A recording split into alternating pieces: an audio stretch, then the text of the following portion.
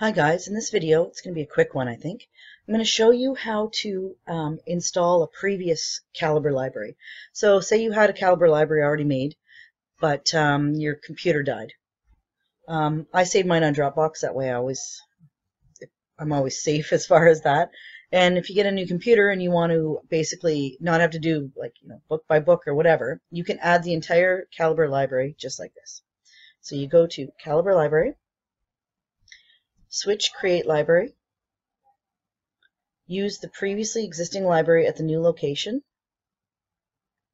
Find the new location, which for me is this one, and select the folder. Click OK, and it loads the library. That's literally all there is to it. If you want to add more books, once again here for your local books, and here if you want to find books. And that's all you have to do to add an existing library.